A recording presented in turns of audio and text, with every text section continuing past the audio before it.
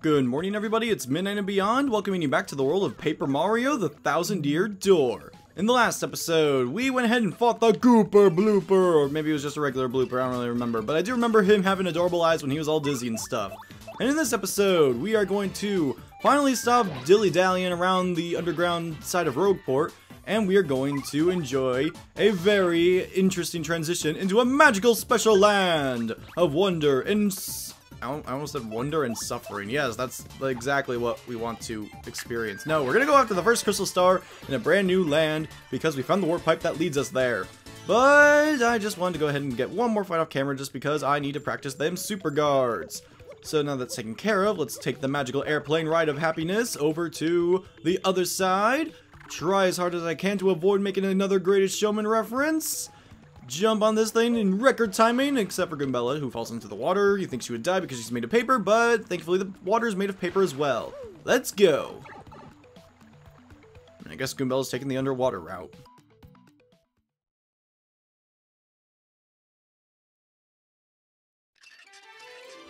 Chapter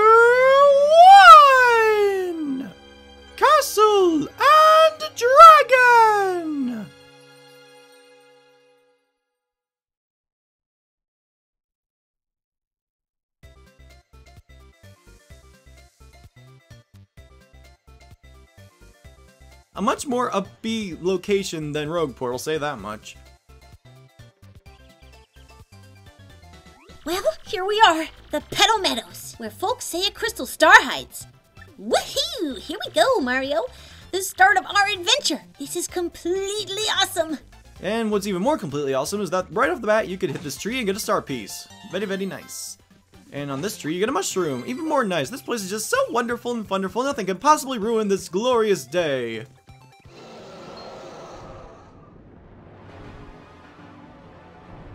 Except for Mega Ultra Giant Dragon Booty!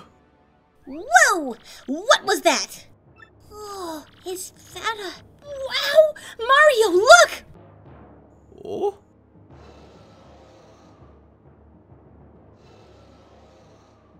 Gee, I wonder if that's where we're supposed to go. I have no idea whatsoever. Totally incredible. I've never seen anything that humongous before. It looked kind of scary, too. Weird. Professor Frankly said this place was peaceful. Wow, crazy! We just started and already there's intrigue. Come on, Mario, let's go! So that's obviously going to be our main objective, but we have no means of getting to that castle right now, so let's explore the happier side of things. And we get ourselves another mushroom. I recommend just hitting any tree you come across because more more often than not you will find some uh, extra items in there. Uh, let's see. This one has nothing. Make a liar out of me. But we got two good items right at the right at the beginning, so uh, I'm not completely making stuff up. We just got another fight with a Goomba, but it's so stinking quick that I don't even need to worry about cutting it out because they make fights super stinking easy in this game. It becomes like a formula that you just fall back into. It's uh, just kind of like an orchestra, how you just go through the fights and doing the timed attacks and the stylish attacks, and you just, it's really stinking fun to do like that. And we got ourselves a level up, which is nice. Every time you get a level up, you get fully healed, and you get to upgrade one of your stats. So, we could upgrade HP, FP, and BP. We could upgrade HP and FP 5 at a time, and then BP at uh, 3 at a time. The way I always go about playing Paper Mario games, I always upgrade FP first, and then from here on out, I will do HP, FP, BP. That's how I've always done it, and that's how I'm going to continue to do it. So, to start things off, let's give us 10 FP.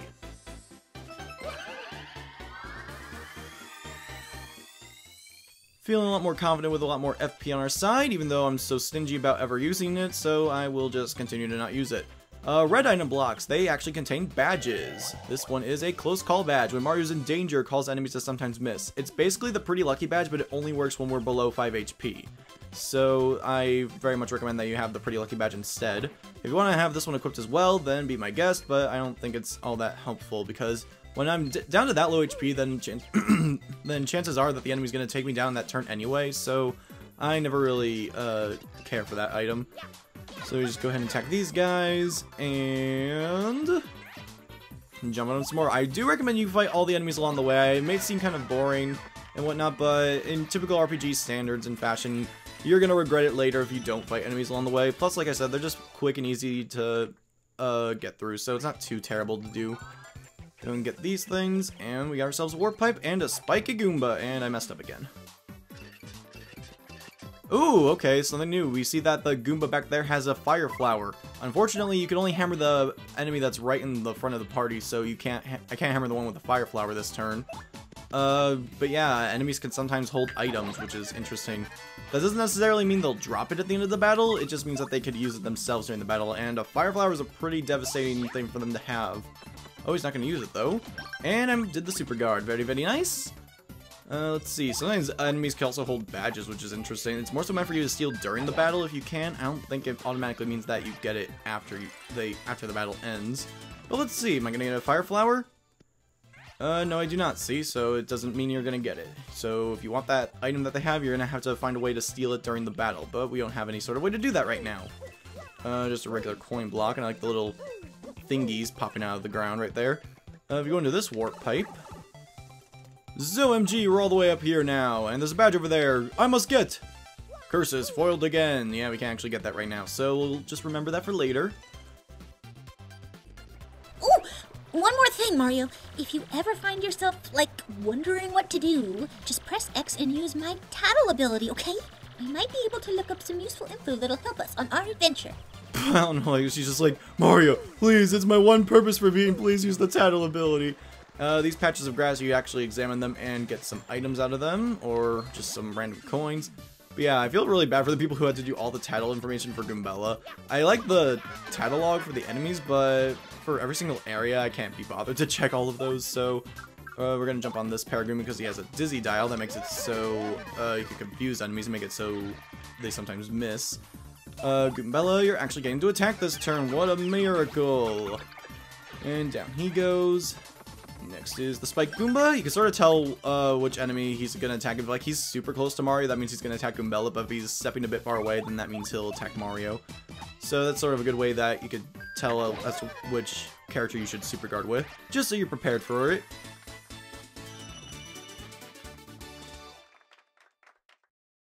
And in case it wasn't obvious already, uh, even though Goombella's in the back of the party, doesn't mean that enemies can't still attack her, as we have plainly seen many, many times go and get this warp pipe that just magically activated. Apparently that grass was a secret switch or something like that. Now, I believe there's a secret if you go all the way back this way. No, it's not this way. It's the other way around to the other side, perhaps? And yeah, Goombella just magically disappears because apparently the GameCube couldn't render two party members back here. Either that or they didn't really care to.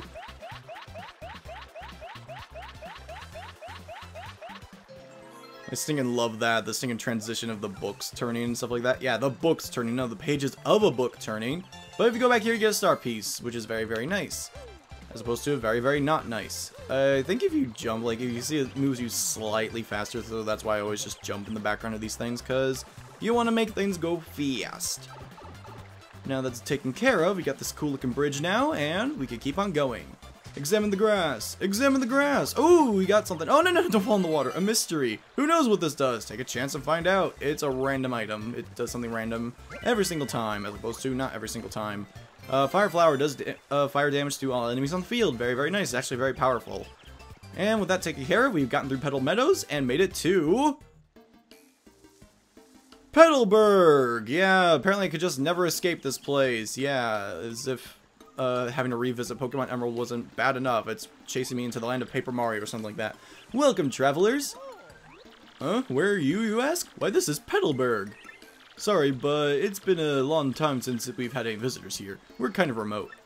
Yippity, yippity, once that dragon hooktail was spotted flying around the area, well, it didn't help tourism, put it that way. People just stopped visiting. Dragon? Hooktail? That must have been that huge thing we saw earlier, Mario. So, it's called Hooktail, huh? Ooh, scary name. so, anyway, Brain Boots. Have you ever heard of these things called crystal stars? We're on this quest for them. It's very important. Crystal stars, you say? Hmm, nope, can't say that I have. Sorry about that. You might want to speak with the mayor, though. He's old. Really, really old. As such, he knows all kinds of stuff we don't. Koopas of his age are, um, really smart. Anyway, the mayor lives in that pink house up ahead. You should go check it out. A pink house?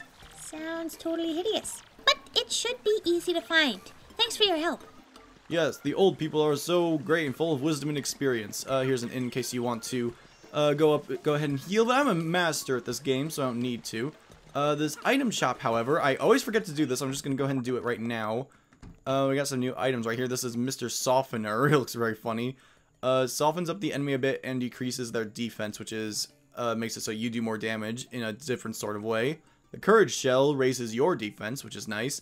This is what I want to get. You're always going to want to get a POW block as soon as you get here. Attacks all ground-bound enemies.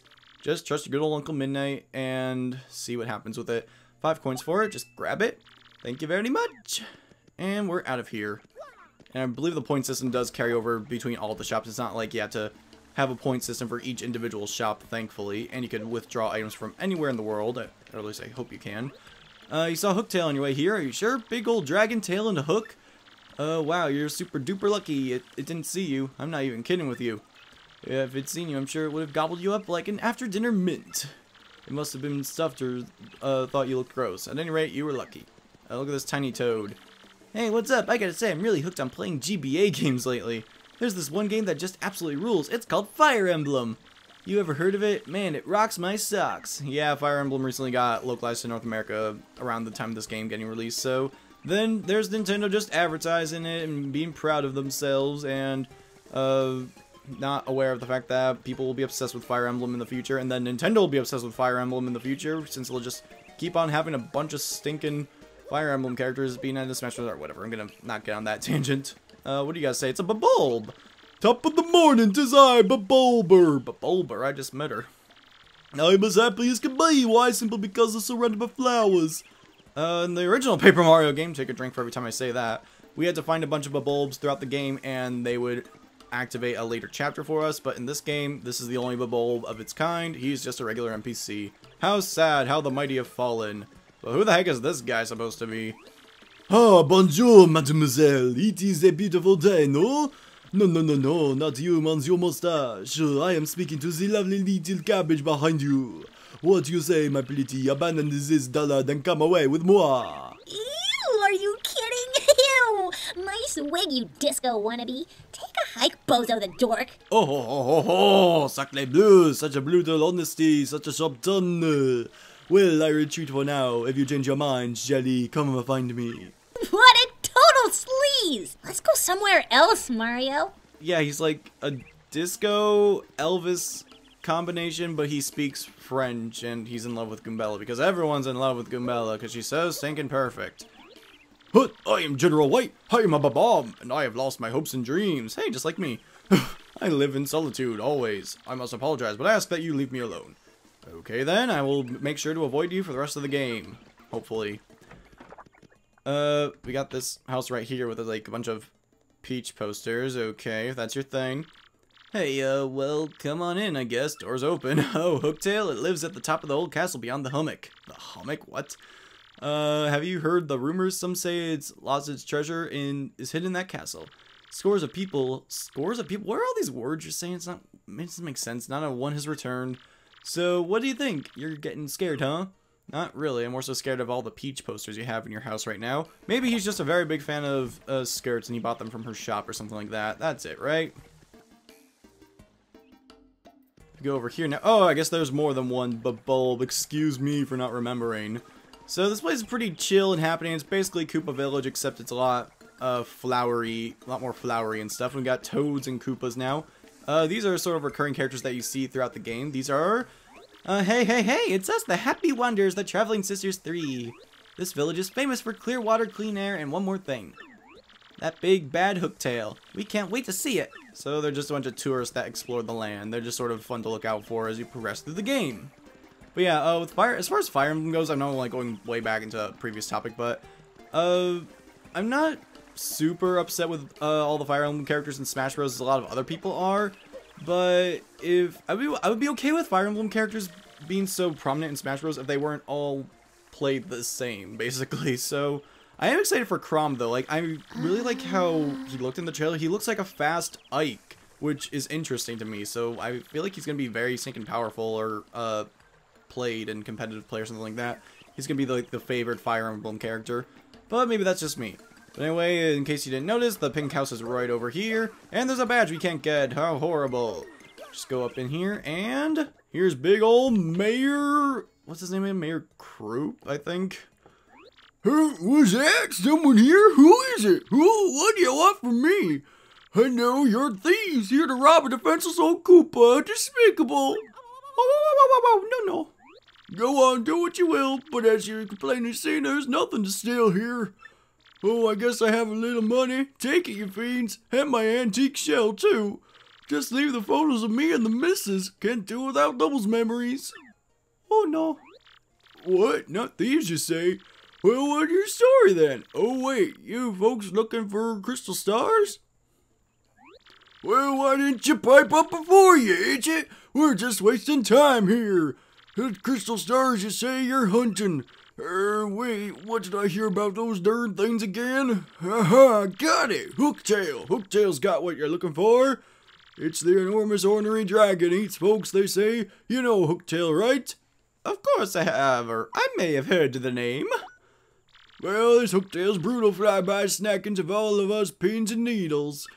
So are you reckless fools, I mean, are you gallant heroes out to rough it up? Uh, what? Hold on now. This does sound promising. Why, if you can rid us of this Hooktail, we'll shower you with gratitude and rewards. Wait, what's that I hear? You accept no reward? I didn't say that. Uh... What an unselfish man. You're noble indeed. Yep, a good egg. Now, what did you say your name was again? I'm a Mario. Murphy? Er, that's a fine name. Yes, a fine name indeed. Well now, Murphy. The name is a Mario. I appreciate that, Murphy. They are nice eyebrows. Now listen up. If you're intent on going to Hooktail's castle, find the secret pipe near this village. I don't know where it's at, but I know you need stone keys to that use that pipe. The keys are somewhere in Strong Fortress, just past the village. Get them first. Well then, Murphy, get going and take care of that Hooktail monster. Well, that was an experience and a half. So, we are now given the mayor's permission to go to Shhwonk Fortress and get what we need to enter Hooktail's castle. Very interesting indeed, but yeah, this is just like an example of how stinking hilarious the characters in this game can be. And hello, we got an email. What the fruit is this nonsense? This is Mario. We don't have technology in here. You got an email. As you travel, you may receive email from people uh, you've met on your journey. You can read these emails on your mailbox SP, yeah. Press start slash pause to access the menu and check your email. You'll find it under important things on your gear screen. That's something I could have shown off in the last episode, but I was just wandering around. Uh, let's go in here to the important things, the mailbox SP. We have two things, one from Frankly, and how's the registration email after the one we got from Frankly? I don't know. Frankly, email. He's a sinking old man, just names his email email. Hello, Mario, working hard. Professor Frankly here in E form. It's highly likely you'll receive emails like this one while you're on your journey, so check your mail often. I actually have nothing more to say than that, so I hope all goes well for you, and I look forward to getting more information on those crystal stars, Professor Frankly, and he sends you photos, which is very funny. That piece of paper in his trash can, that will actually be something relevant for later. Uh, well, technically not for my playthrough, but I'll explain it a bit later. Uh, the RDM registration. Uh, direct mail verification. Dear Mr. Mario, thank you for registering with Rogueport Direct Mail RDM service. Your kind friend, Mr. Frankly, referred you to us. Okay, I guess that's why it came up second. Our direct mail service will provide you with regular timely news updates. We hope you enjoy your service. Uh, published by Rogueport Registration Committee. Uh, so it's just a cool little extra that you could uh, see on your adventure. And apparently it was so incredibly boring that Mario and Goombella fell asleep. Uh, we'll talk to this guy. An old stronghold called Strong Fortress lies, lies ahead. A stone creature lives there. At least it might live there. This gate is to keep it out. My job is guarding the gate. But if the mayor says it's okay, then I'll let you pass. Careful out there, though. What is with all these villages and gates? Um, excuse me? Uh, I beg your pardon. Wait a moment, please! Who's this nerd? Uh, pardon me for yelling like that. I was panicking. Um, how to begin? My name's Koops. I heard you were traveling to Hooktail's castle. So, anyway, I, uh, have a favor to ask.